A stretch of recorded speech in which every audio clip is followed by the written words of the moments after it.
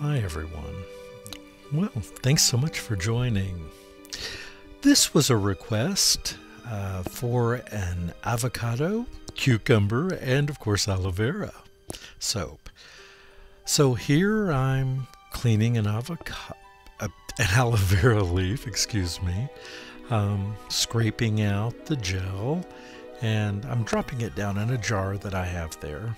And there's a lot of heavy editing through this because this would be an hour video with everything that I did in this. And there's the aloe vera jar. The next thing I did was juice a cucumber.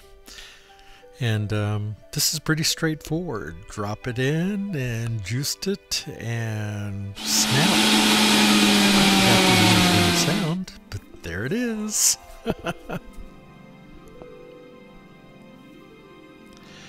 and uh, this was a lot of fun to make. I, I love making soaps with natural products. Here's the avocado here. This was a very nice avocado, by the way. Uh, I, had, I took a real joy in this, like I do with all natural soaps, and those containing food are some of my favorites. Um, I've used most of these ingredients before, but together never. And what I decided to do was to blend all of these together in my Vitamix into a single emulsion and then freeze them into cubes. And just thought that would be easier than adding all the individual ingredients. So that's exactly what I did. So I cut up my avocado and then I mixed it with the aloe vera juice and the, or aloe vera gel, I should say, and the cucumber juice. And here it is all blended together. And it smelled really good, by the way. I was tempted just to drink it, but it was really thick, as you can see. But I poured this into ice trays and froze it so that it would be easier to incorporate without having to worry about burning it. Here are my oils and butters. Goodness, I have cocoa butter. I have everything. This is mango butter, uh, shea butter, meadow foam oil, avocado oil, olive oil, castor oil, and a little bit of sunflower oil. So here are those frozen, or some of them. There are actually two trays of these. I used it all in this soap. I made a very large batch here. I just decided to use it all. And um, so here it is in the bowl, and then I have it in a ice bath. And I'm just going to start adding my lye to it, and very slow. Now this is edited, of course, quite heavily. Um, but this took a little while because I added the lye very slowly and stirred and stirred and added more and more until it was all completely melted. And it did darken slightly, but not it didn't burn, never burned because I kept it cold and I kept a look at the temperature and it never exceeded 70 degrees.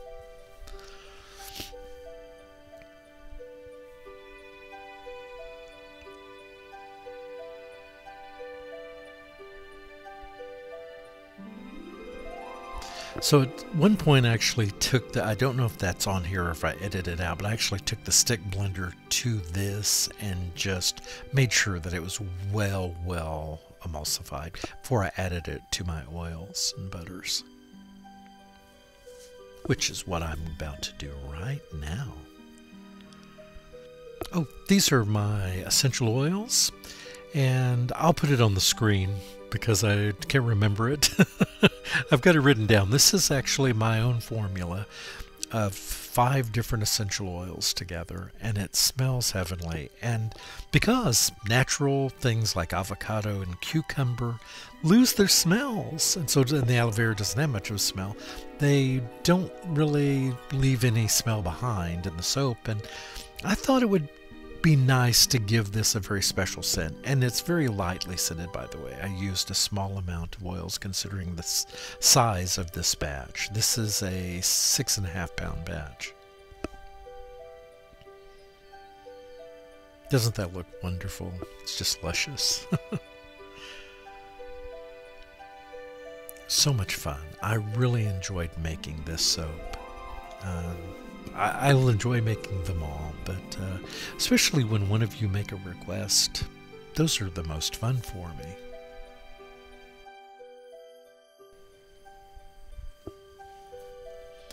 This was uh, also one of the most satisfying because it did exactly what I wanted it to do. This is a soap that has no swirls, has nothing special.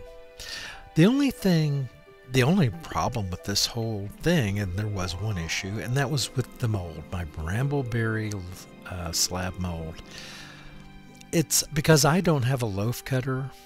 I inserted some of the dividers in it, but I didn't get them in completely straight. So uh, one of them, one of the bars came out, or one of the loaves came out a little crooked, so I had to fix it in the cut. So I end up doing a lot of trimming on these, but overall, the bars themselves, they're large and beautiful.